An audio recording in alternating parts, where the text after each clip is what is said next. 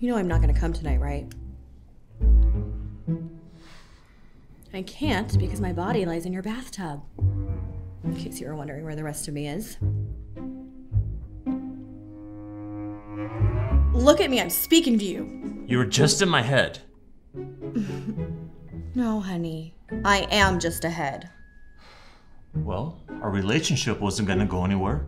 You can hardly call it a relationship. We didn't even make it to second base. Well, at least I'm still going to.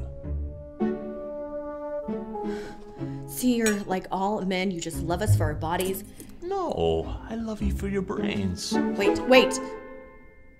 Can't we at least enjoy a glass of wine before you dig in? Who is that?